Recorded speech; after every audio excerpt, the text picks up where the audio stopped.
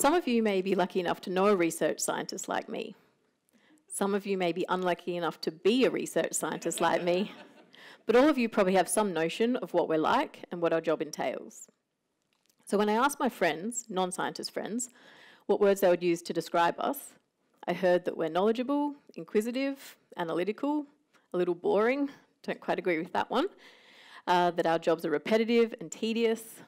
One friend even said that to him, scientists were old dudes with crazy hair carrying beakers full of coloured liquid.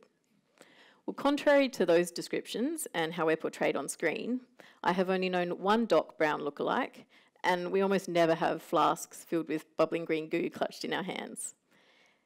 We're not all socially awkward or weird either. So it was pretty clear from talking to those people closest to me that there wasn't a great understanding of just what it is that I do. There also wasn't an understanding of the positive impact that science can have on the future economy of Australia. I mean, I bet you didn't know that every dollar invested in health and medical research will yield a $3 return in health economic benefit. With returns like that, you'd think the government would be jumping at the chance to invest in research. Unfortunately, they're not, but I'll get to that in a little bit. In the meantime, here's some other fun facts. We now have drugs that are so effective that a certain type of leukemia is seen as more of a chronic illness rather than the death sentence that it once was. That's due to health and medical research. P uh, children with the type of leukemia that I work on, the survival rate has increased from 4% in the 1950s to around 85% today. That's also due to health and medical research. Sometimes I think if scientists were just a little better at marketing themselves to the general public, people would better understand the integral role that we play in everyone's health there's probably not a person in the room who hasn't been affected in some way by cancer or heart disease or mental health issues. Well, the therapies and the diagnostic procedures and the imaging techniques that doctors use to identify and treat these conditions, all of those come from years and years of scientific study. I mean, that's the thing about health and medical research, it affects us all. So we should all be concerned about the future of the industry. But probably to care as much as I do, people need to first understand what goes on behind the lab coats, behind the beakers and pipettes. So I'm going to give you a sneak peek into what goes on in my life as a research scientist. So when I was younger, I didn't always envisage doing this. At one point, I actually wanted to be something far more respectable. I wanted to be a lawyer. But my aptitude for learning and an attention to detail that some would tell you borders on compulsive these traits aligned perfectly with some of the key characteristics necessary for a successful scientist. In addition to being curious with a twist of OCD, we're also required to have a hefty splash of dogged grit and determination. We need a stubborn persistence to keep trying after the umpteenth experiment has failed. We need unwavering dedication to carry on after receiving yet another failed funding application. And these days we're also required to be great communicators. We have to get people as excited about our studies as we are. Excited enough to read our manuscripts, excited enough to fund our proposals, excited enough so that you're not checking your phones when we're up on stage giving a talk. These weren't things that I was told about in university. I also wasn't told how hard it would be to continually muster the passion required to do our jobs. Because as one colleague told me, research is more of a lifestyle than a career. Some of you may be thinking that none of what I said seems that onerous. Just how hard could it be to get people interested in a cutting edge cancer study? What exactly is so hard about undertaking medical health, health and medical research?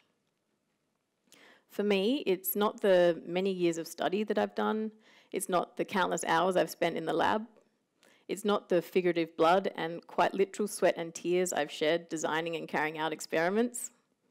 It's not the writing, rewriting, submitting, revising, resubmitting, and finally, often 12 months later, getting my manuscript published.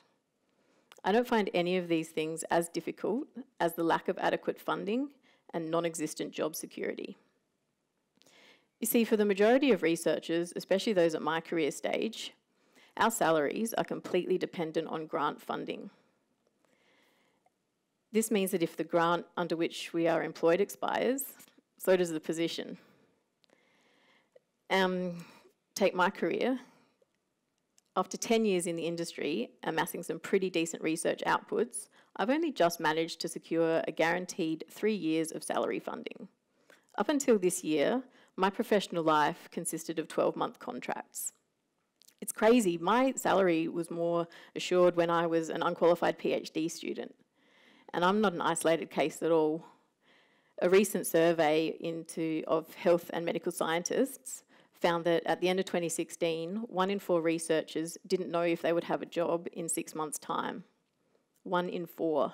That's 25% of people who are working at improving the health outcomes for Australians who didn't know if they'd have a job the following year. And this is simply because there is not enough money to fund an expanding research sector. So I've already said how our studies are dependent on grants, and these come, the grants are from external funding bodies, the largest of which is the Australian Government's National Health and Medical Research Council. And while the amount of world-class research coming out of Australia has increased recently, the government funding to support this research has remained stagnant for the last five years.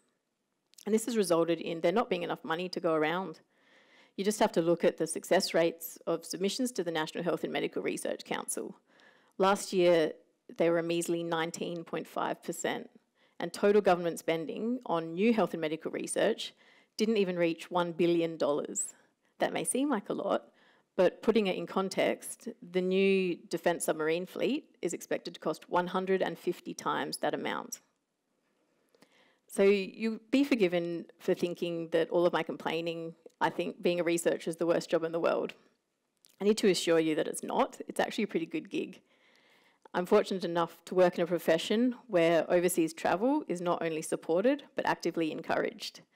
I've had the privilege of presenting my research to people from all over the world, and for my Fulbright exchange, I got to work for a year learning cutting edge laboratory techniques from the world leader in my field.